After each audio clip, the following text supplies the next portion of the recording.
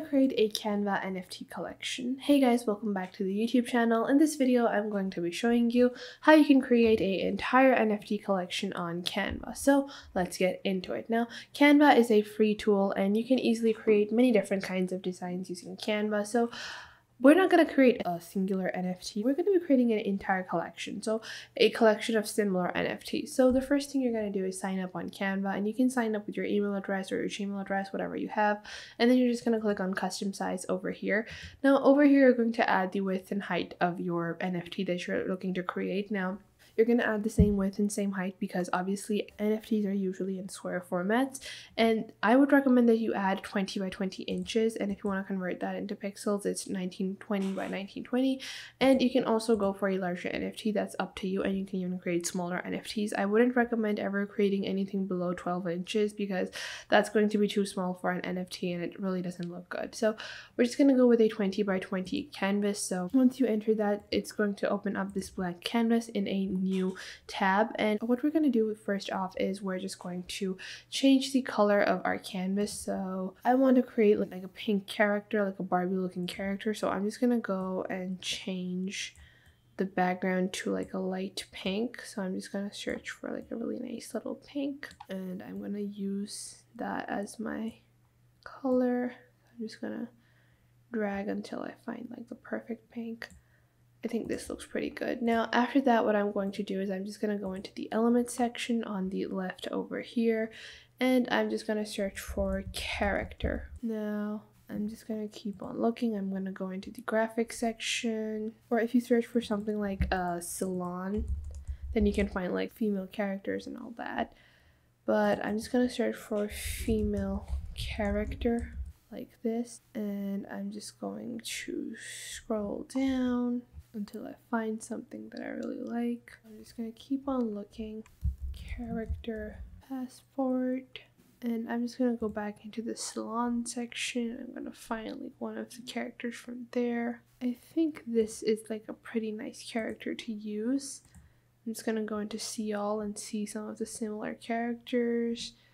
I think this one is pretty good in itself, so I'm just going to expand this and I'm going to place it right at the center of my canvas. Now once I have done that, what I'm going to do is I'm just going to duplicate page and you can duplicate it as many times as you want.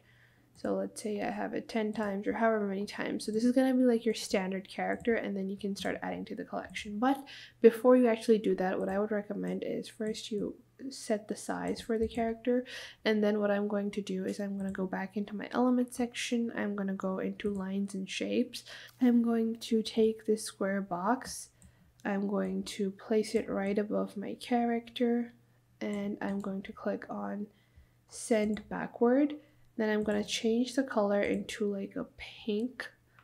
I'm going to change it to like a darker shade of pink.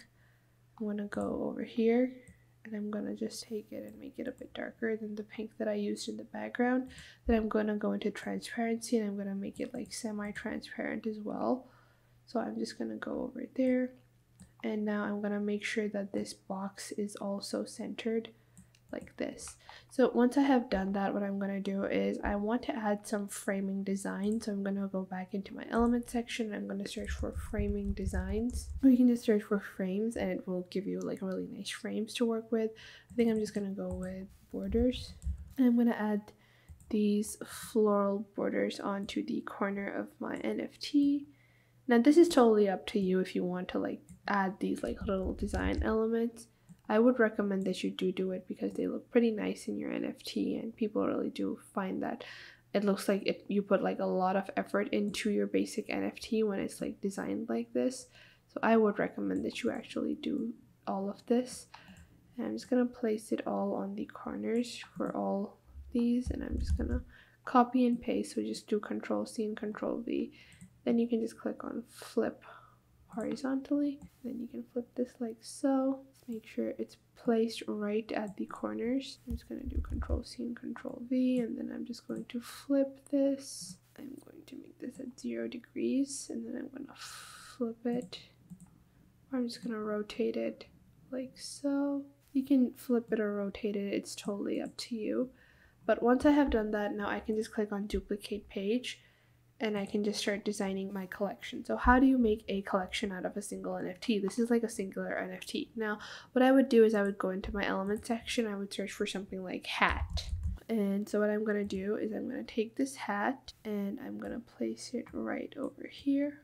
And I'm going to rotate it so it fits like the character's head a bit better like so. I'm gonna place this over here and now I can just design the next one. So this is like the hat NFT and I'm gonna design another one. So let's say I search for heart. So you can just take like this really like cartoonistic heart and then you can resize it, place it over the character's eyes and then you have another NFT like so. Make sure both of the hearts are like the same size, otherwise it looks a bit awkward gonna delete this as well. And I'm gonna place like the exact same heart over here. And now I'm going to just duplicate like the initial basic design and you can keep on going like just to give you guys more ideas um, i would search for flower crown and i would just take like a simple cute little flower crown like this one and i would place it over the character's head like so so i'm just going to place it over here resize it a bit like this and then I can just go back and duplicate the original NFT or the original design that I have and just keep on adding more designs. So in this fashion, you can add as many designs as you want. So I have like a hat, I have heart, I have uh, heart eyes, I have like a flower crown. I can also add like guns. You can add as many things as you want. So you can just search for the target mark and then you can like add like a target mark onto your character. And then you can search for maybe something like um, sparkles. And then go into the graphics section. You can add like sparkles onto the character like this. And you can add gifs as well but i wouldn't recommend it when you're doing collections. Like either make the entire collection with gifs or don't. So we are about to end this video and to end it on a good note i would like to request you guys that if you found this video helpful or if you found this method exactly what you wanted or what you were looking for consider subscribing to our youtube channel and sharing it with your friends and family who might learn a thing or two from this video or learn a thing or two from the hundreds of videos that we have on our channel. And of course if you have any questions any queries about anything in this video or with related to our entire channel or any of our videos make sure to leave a comment down below and ask us what you want from our videos i tried to cover everything i could in this video but if you want to see more details of the methods or the ways in this video just let me know in the comments down below and I'll be sure to make more videos on your suggestions. At the end of the day, it's all about providing you guys with valuable content that could help instill a positive change in your life and hopefully your friend and family's life as well. And at the end, I would like to request you to make sure to hit that like button and subscribe to our YouTube channel as it helps out our videos a lot. And again, thank you so much for watching. Till next time, goodbye.